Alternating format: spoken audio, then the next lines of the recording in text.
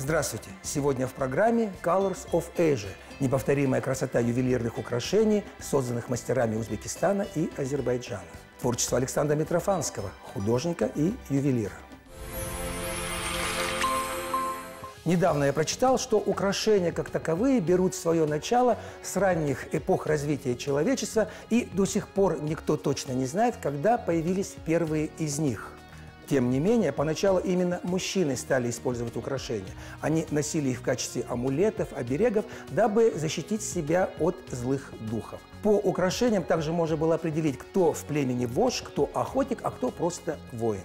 А вот ювелирные украшения появились приблизительно 5000 лет назад и задержались в этом мире вплоть до сегодняшнего дня, не теряя своей популярности. Кстати, на Востоке особо любят и ценят ювелирные украшения. И не случайно, ведь любое такое изделие – это красиво, это элегантно, это престиж и хорошее настроение. Посему прямо сейчас мы отправимся в Ташкент, где с особым трепетом относятся к этому виду искусства и очень много тех людей, которые умеют создавать эту красоту.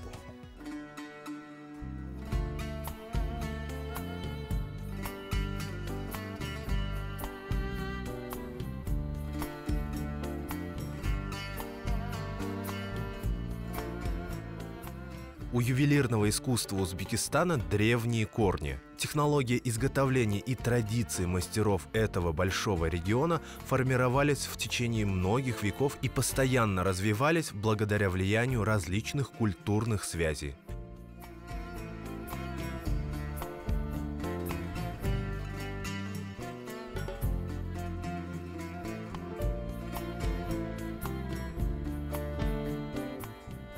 Если заглянуть в исторические источники, то можно прочитать, что мастерство ювелиров на этой земле достигло высокого уровня еще в конце средних веков. После оно продолжало совершенствоваться и привлекать к себе все больше внимания со стороны заморских купцов.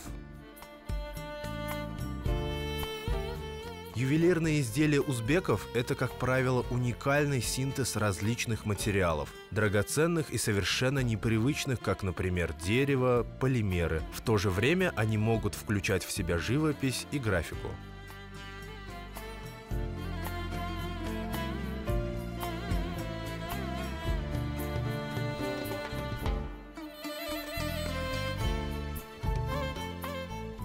Особо разнообразными в Узбекистане были и есть женские украшения. В основном они из золота и серебра, реже из латуни, меди, бронзы и олова, но обязательно с использованием драгоценных, полудрагоценных камней и цветного стекла –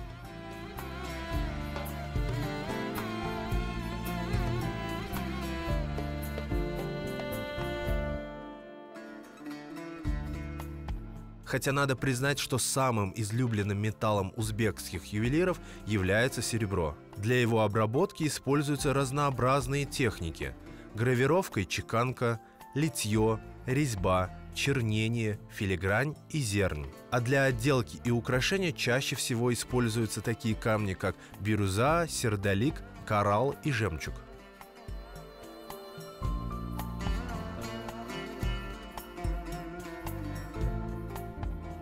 Во многих украшениях узбекских ювелиров можно увидеть рисунки растительных побегов, листьев, различных плодов и зерна. Нередко можно встретить изображения птиц, рыб, змей, и в этом есть своя символика. То есть сама природа вдохновляет и подсказывает ювелирам темы для создания украшений.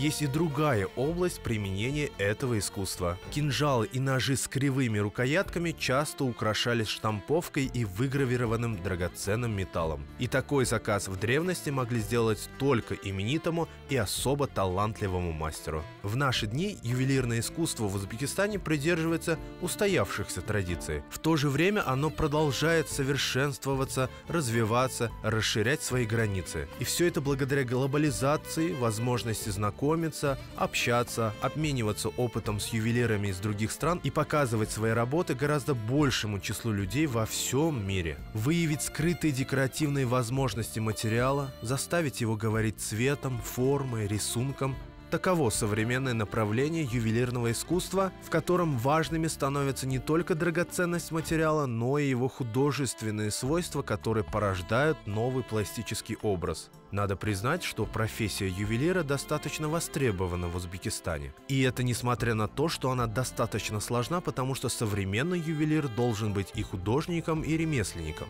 Он должен не только уметь создавать дизайн украшений, но и воплощать эти идеи в жизнь. Одним из таких ювелиров является Дмитрий Перянко.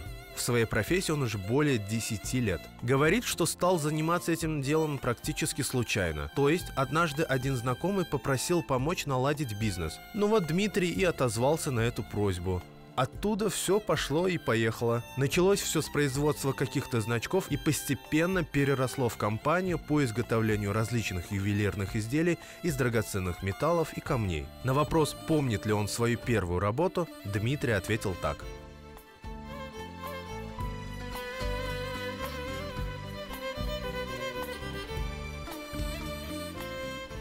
Первая моя работа была это обручальное кольцо. Но обручальное кольцо не простое, а сложное с двух металлов с накладкой. Желтая основа, белое золото накладка. Там были гравировки. Я его сделал с третьего раза. Но сделал. Клиент остался доволен. Довольным был и сам Дмитрий, ведь это так приятно, когда ты понимаешь, что потратил время не зря и сумел удивить кого-то своим мастерством.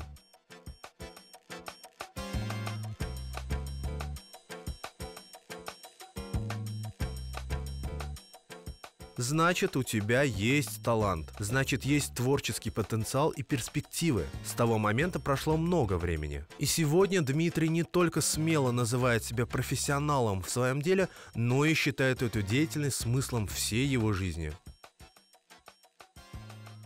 Но это основная часть моей жизни, моего бытия, то есть основную часть своей жизни я сейчас провожу на работе, даже больше, чем дома.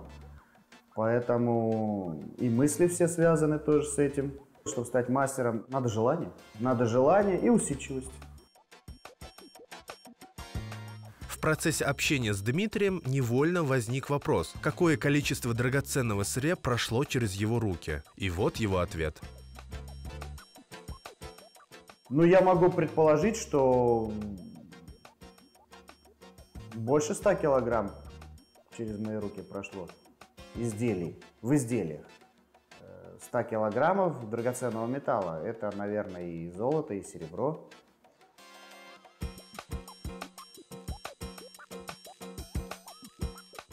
По словам ювелира, стоять на месте ему не приходится во всех смыслах этого выражения. Работа кипит, потому что заказы поступают, люди хотят носить что-то необычное, не как у всех. Соответственно, мозг напрягается и заставляет придумывать, придумывать и придумывать. Значит, идти вперед. Значит, быть творцом, а не просто ремесленником. Тем более, что конкуренция в этой отрасли нынче достаточно серьезная.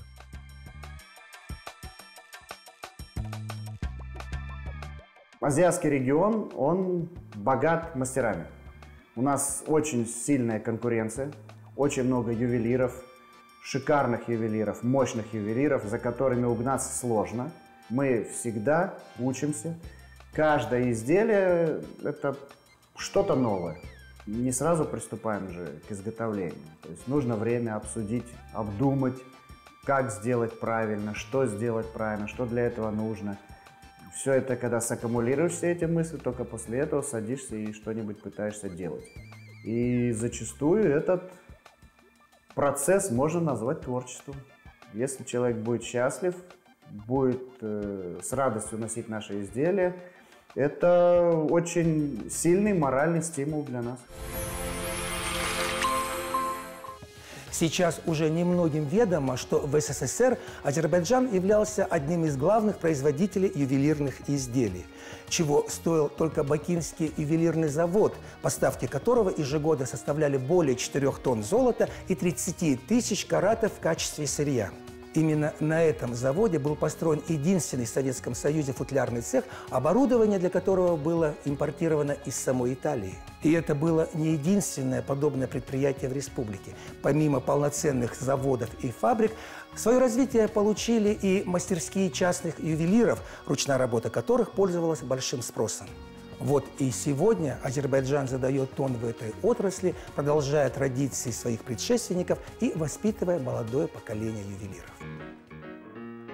Во все времена драгоценные металлы и камни были слабостью многих, особенно женщин. И представительницы слабого пола Азербайджана не исключение в этом плане. Как и все восточные женщины, они безумно любят ювелирные украшения. Для одних это способ подчеркнуть свою красоту, для других – материальный достаток. Вообще во многих азербайджанских семьях сложилась традиция откладывать на черный день золото и бриллианты. И она продолжается по сей день. Может, поэтому здесь так почетно профессия ювелира, а количество специализированных магазинов практически сложно посчитать.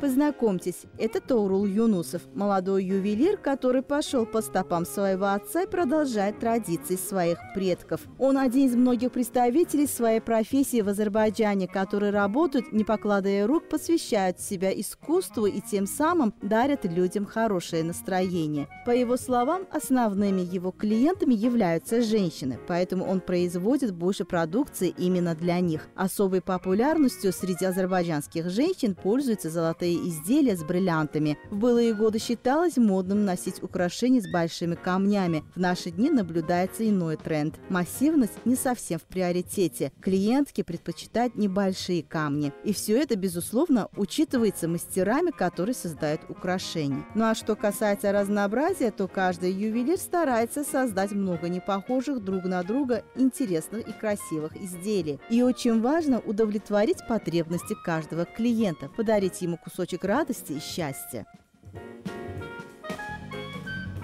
Ən çox biz e, qızıldan işləyirik, e, qızıldan düzəldirəm. Заказы формируются по финансовым возможностям клиентов, неважно из какой страны используется сырье, например, тоже золото. Каждый выбирает по своему карману. А если изготавливаем просто так без заказов, то мы учитываем требования рынка. Иногда клиенты не смотрят высшая проба или низкая, выбирают по привлекательности изделия. А привлекательности можно добиться, если придать тому или иному украшению оригинальную уникальную и особую форму. Использовать профессионально и со вкусом любой драгоценный металл или камень, которые на то и называют драгоценными, потому что сохраняют на века качество и блеск. Тоурул Юнусов не скрывает, что в наши дни удовлетворить потребности искушенного покупателя не так-то и просто. У каждого свой вкус, своя пристрастие, порой капризы. Все хотят чего-то необычного и эксклюзивного. Но, несмотря на это, он любит свою работу, потому что придумывать новые формы вызывает у него большой интерес. Тяжело на этапе задумки и составления дизайна нового украшения, ну а потом уже все идет по принципу «дело мастера боится». Более того, для каждого ювелира важно быть хорошим маркетологом, знать законы рынка, ориентироваться в потребностях публики и не ошибиться в этом, дабы можно растерять силы впустую. Одно кольцо изготавливается за 4-5 дней, а на подготовку комплектов уходит одна неделя. Поэтому стараюсь уделять серебряным изделиям меньше времени, потому что в итоге прикладываю на изготовление украшений, будь то из золота или серебра, одни и те же силы, а продаю серебро намного дешевле. Поэтому больше всего работаю с драгоценными металлами и камнями. И сейчас в основном в тренде продаж это свадебные комплекты, обручальные кольца, браслеты. Нужно отметить, что многие современные ювелиры до сих пор продолжают создавать свои работы, используя традиционные методы. Это им нравится, и это их принцип. В то же время на дворе 21 век, когда новые технологии не обходят стороной и ювелирную промышленность. Они активно внедряются и используются, и это намного упрощает работу мастеров. Поэтому на рынке все чаще можно увидеть образцы, которые изготавливаются с использованием новых методов. Bu bizim kontakt aparatımızdır. Buna hər an Это контактный аппарат. Многие ювелиры припаивают части изделия на огне. Я использую это оборудование. Преимущество в том, что можно соединить даже самые мелкие детали гораздо проще и быстрее. Buna e, olur ki, iş vaxtı Например, раньше прикрепление камней на кольцо было очень трудным процессом. Но этот лазерный аппарат позволяет быстро и легко припаивать мелкие зубчики короны камня. Неудивительно, что ювелирные изделия являются объектом внимания не только женщин. Мужчины также являются поклонниками различных украшений. И если заглянуть в историю, то именно они первыми стали носить всю эту красоту. Хотя со временем интересы и пристрастия поменялись. Мужчины уступили эту слабость женщинам, но было бы неправильным утверждать, что отказались от нее полностью. Золотые или серебряные изделия часто можно увидеть на многих представителях сильного пола Азербайджана. Bizdə xanımlar ən çox e, istifadə eləyir qızıllar. Yəni o bizdə kişilərimiz biraz qızıla az meylli olurlar. Для мужчин у меня большой выбор обручальных колец, и многие из них в основном без драгоценных камней. Bəylərimiz üçün də üzükləri var. Хотя есть кольца с бриллиантами, рубином, агатом, например. Но это на любителя. Некоторые мужчины любят кольца с крупными камнями.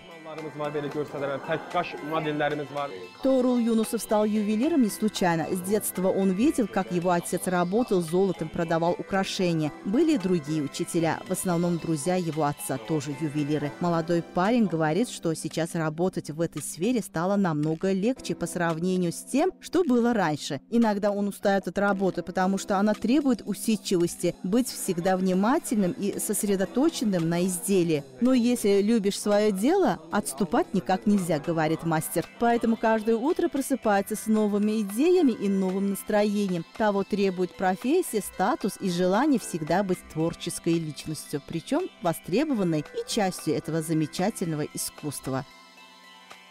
Evdə papam zərgər olubdu, evdə həmişə hazırlayırdı. Əvvəl belə daha çox belə yerlər, elə. Каждый ювелир должен любить это искусство. Ты должен в первую очередь стараться, чтобы твое изделие было безупречным, аккуратным, искусным. А если будешь только о деньгах думать, то вряд ли что может получиться. Твои изделия не будут пользоваться спросом. А если сделать каждое изделие с любовью, то оно всегда найдет своего хозяина.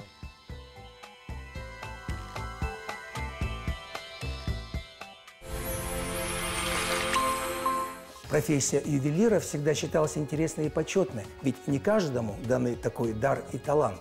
И есть среди них те, которых публика называет настоящими художниками, а все потому, что их творчество особенное и неповторимое. Они те, кто из металла и камней способны создавать маленькие полотна, вызывающие у публики восторг и легкий трепет. И прямо сейчас мы познакомим вас с одним из таких художников. Он живет в Казахстане, но слава о его шедеврах пронеслась уже по всему миру.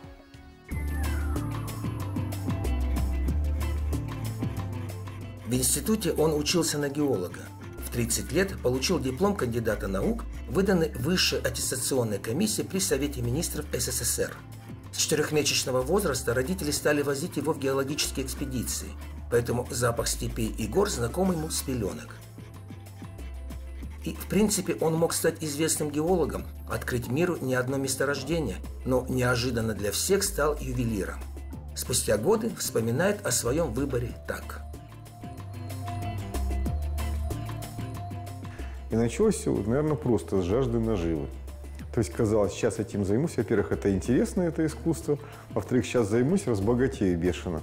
Ну, как-то вот жажда наживы переросла в жажду творчества, и все. Тот же любимый мной Матис или тот же Гаген, который был преуспевающим банковским деятелем, все бросил и пошел в искусство. То есть это необъяснимо в принципе. Ну, еще, наверное, плюс адреналин. То есть творчество – это адреналин всегда. Вот. И, может быть, уже какая-то зависимость от адреналина, не знаю.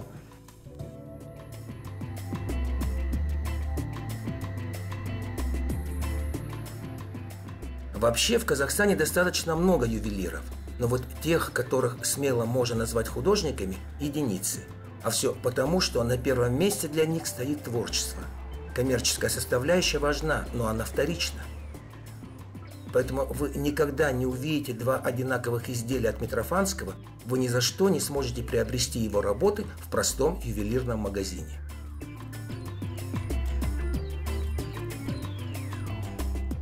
В принципе, то, чем я занимаюсь, это даже не ювелирное искусство, не, декоративно-прикладное искусство. Это попытка сделать в металле законченное именно художественное произведение, ну, надеюсь, высоко художественное, с какой-то своей философией, там, необычной техникой исполнения. Ну, это, это и привлекает. Потом я одинаковых работ не делаю. Даже серьги, они все равно разные, даже в одном комплекте. Иногда очень сильно. Наш герой признается, что относит себя к импрессионистам. При этом затрудняется определить стиль своего творчества. А все потому, что в определенный период это может быть какой-нибудь конструктивизм, супрематизм, потом его может перекинуть на модерн в стиле Альфонса Мухи, потом еще куда-нибудь может унести под влиянием творчества знаменитых художников, писателей, поэтов, кинорежиссеров и музыкантов. При этом в его мастерской вы не увидите ни одного эскиза, потому что он работает непосредственно с материалом, рисует сразу на металле и сразу же придает ему форму.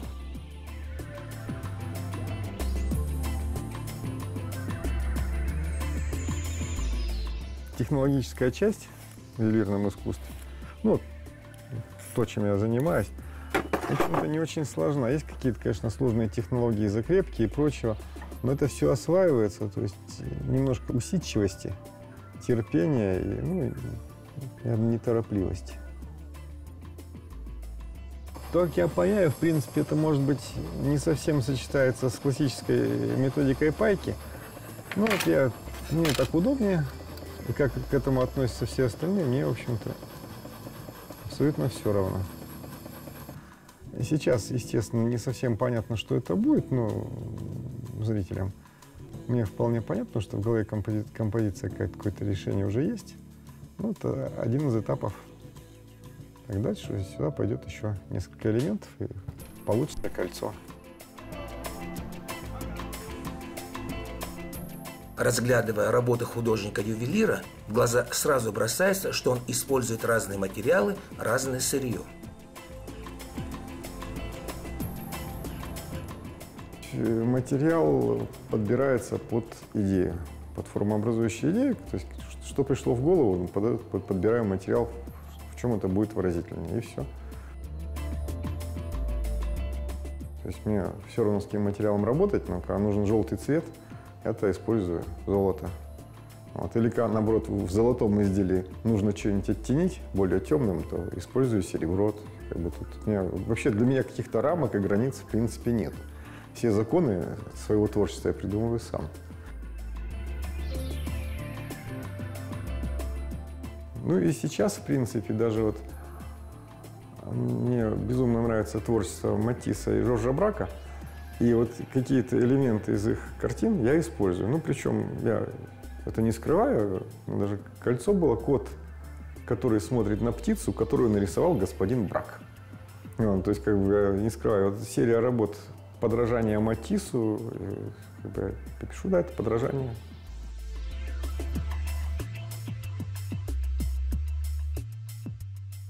При всем при этом во всех работах казахстанского ювелира откровенно прослеживается один единственный лейтмотив –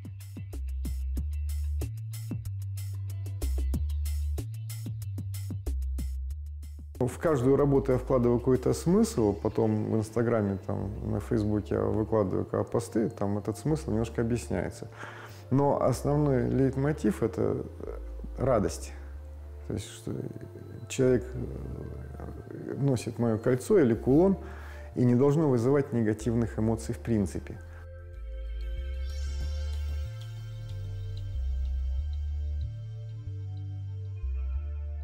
Камни в своих работах он использует крайне редко. Говорит, что приходится это делать иногда, чтобы поставить какую-нибудь цветную точку. Но в целом он считает, что хороший камень, как правило, все внимание берет на себя и становится первичным, что, собственно, категорически не устраивает мастера.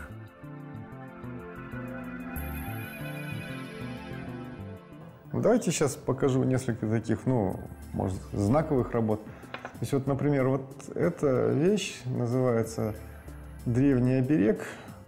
Ну, еще была серия работ «Забытые символы». Это тут странный зверь, это скифские татуировки, которые были, ну, на мумиях уже обнаружены. Периодически я возвращаюсь именно к этим совсем древним вещам, потому что это интересно обработать. Как-то, ну вот насчет вопроса работы с камнями. Кулон Life is a Miracle в принципе, какая-то моя иллюстрация к фильму Эмира Кустурицы «Жизнь как чудо». Что этот фильм я смотрел ну, несколько раз. Вот он мне очень нравится. И, как бы вот, и здесь вот как раз вот э, бирюза, как ну, кусочек синего неба. Эмалью это не передашь, а именно вот камень. Вот.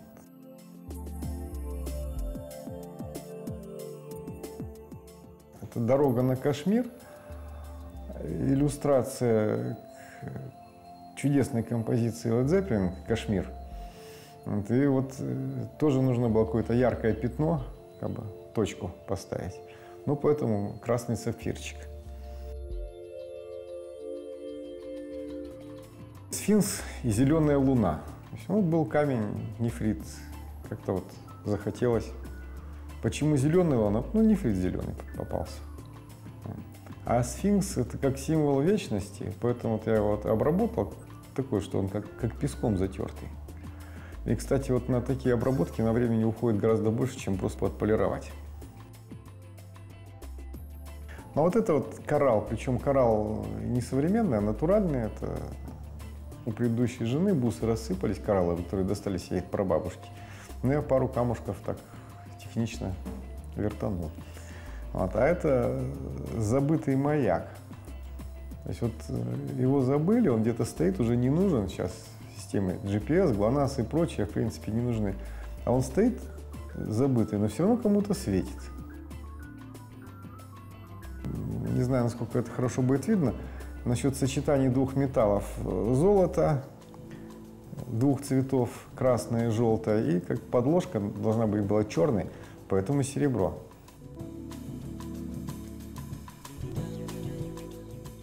И вообще вот с фильмами интересные вещи происходят, потому что когда я посмотрел у Борецкого на большом экране «Мертвеца», до этого смотрел по телевизору, ну, не совсем тот, Джима Джармуша, я сделал кольцо, желтое золото, белое золото, аметист. И приехала на конкурс красоты Патриция Веласкес, топ-модель, голливудская актриса. И он смотрит коллекцию, и говорю, ну вот это вот. И назвал «Хроника одного путешествия». Но это имел в виду путешествие Блейка, умирать. А причем оно лежало достаточно долго, его никто не покупал, оно всем нравится, никто не покупает. Думаю, блин, надо перепаять, что ли, что-то ну, не то. Она в него вцепилась, говорит, это про меня. А мы с ней разговаривали на чудной смеси английского, испанского, ну и фрагменты русского языка. Ну, переводчик, правда, был, она помогал. Я уже промолчал изо всех сил, что как бы, ну, не совсем про тебя. Она в него вцепилась, как ребенок в игрушку, говорит, все там, готова отдать все, что угодно, ну вот, вот, вот это, говорит, про меня. Ну, ладно, то есть работа ждала именно ее. Это Child in Time. Чудесная композиция Deep Purple. Напевать не буду, со слухом проблемы. А, ну, те, кто знает, кто такие Deep Purple, естественно, эту композицию все четко представляют. Это под нее. В принципе, работаю под музыку, под впечатлением фильмов, книжек, и поэтому вот они, ну, все иллюстрации.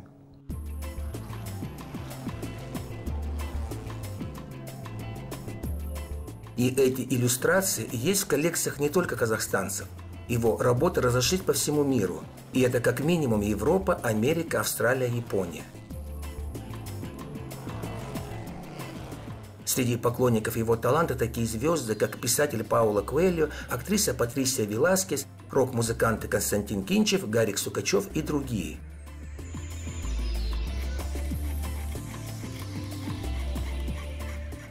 сегодня Александр готовится к своей очередной выставке, на которой готов представить нечто особенное и неподражаемое.